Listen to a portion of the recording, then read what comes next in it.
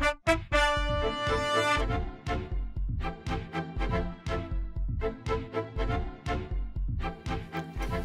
name is Tim Firpo. I'm from paintballtek.com. I'm here with uh, Sweeney gun. Matt Sweeney helped invent this gun for launching you know capsules for movie props. It was uh, built in 1984. The original cost on one of these was $3,400 approximately. It runs on a low pressure air source right around 120 to 140 psi directly into here with no regulation off of a uh, compressor the air comes in through here, goes through your macro line tubing into your switch, which is right here on the bottom. This switch goes to a flow control valve, which runs a line all the way up to the front of the gun uh, to the tube here, where you would pull this cap off, load your your special effects rounds uh, recap it, and then to load the rounds into the gun, you have air pressure running that pushes them down in here, um, cycles them across this block with a pneumatic ram, and then into the barrel to be shot out this way. The other airline that you see here runs forward to the trigger frame block right here. This controls the firing. It's got a pneumatic Clippard switch, you know.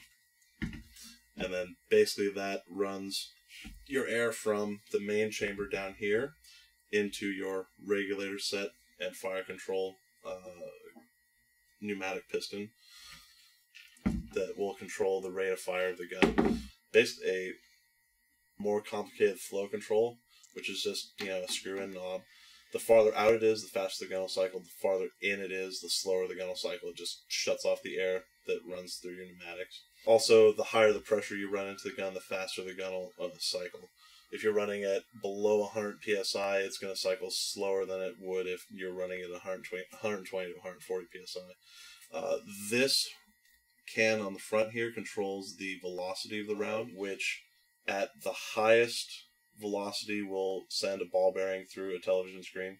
So be sure to chrono your Sweeney gun when you're going to play paintball with it because you don't want to break any lenses. So we have these super custom JT goggles here for safety's sake. Because again, ball bearing through television screen. And just running off a standard compressor line. Do a quick disconnect.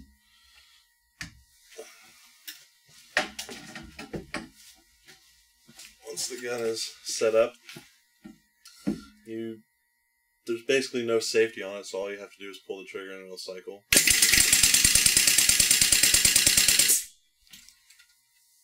So there is a semi-automatic mode on this gun. Uh, basically, you have to turn your fire control knob all the way in, but when it's all the way in, it shuts off the air so dramatically that it'll only cycle one shot at a time, and then you have to unscrew it to let the air flow back into the marker.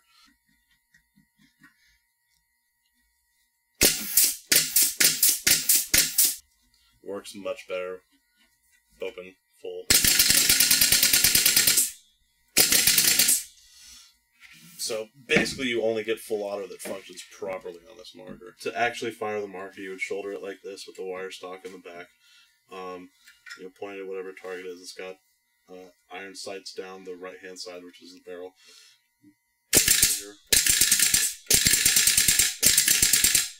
The other neat little thing is on the top of the block here, this is where your pneumatic ram comes in uh, that will load the shots from the, the left hand side tube into the right hand side tube for your barrel.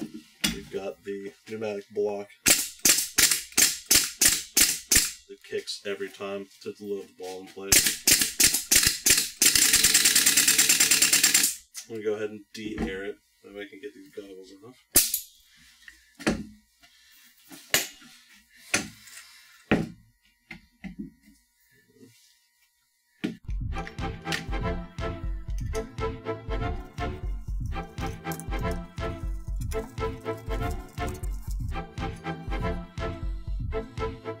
There's your block. So with the plate off, you can see it's got the four end posts that hold it all together so you can uh, cover the pneumatics on either end of the firing chamber. Uh, this is basically a Clippard ram with two 90 degree fittings running low pressure tubing to it, you know, just compression fittings on it. And when the marker shoots, the paint gets fed in from this side into this block, which has a hollow you know, center to it. The ram pushes it over to this side, which presses down on this pneumatic actuator and we'll fire the, the round through the barrel, which is right in here. Go ahead and air up this marker with a low pressure crossfire tank running through a stabilizer. Turn this all the way down to zero and slowly bring it up to pressure so you can see how the uh, the ram assembly on the top works a little bit better since the plate is still off.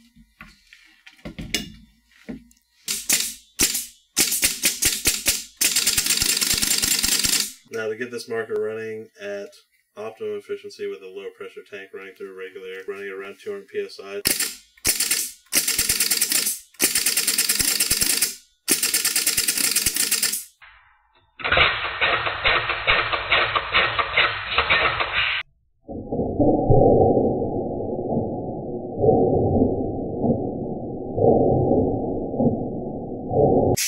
Yeah, please don't try this at home with your your own Sweeney gun that you all should have. Basically, and that's your uh, Sweeney gun in a nutshell. Uh, my name again is Tim Firpo from paintballtek.com. If you ever need basic marker uh, maintenance and repair, please give me an email. I'll be uh, willing to do whatever you need. Thank